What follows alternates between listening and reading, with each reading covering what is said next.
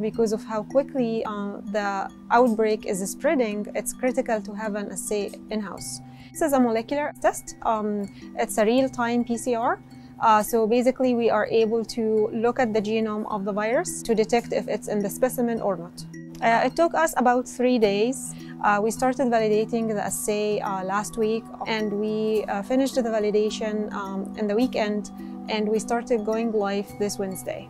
We started to diagnose cases and uh, uh, inf the infection control team are actively working on the containment. Uh, so this is basically why the diagnostics and detection is really important.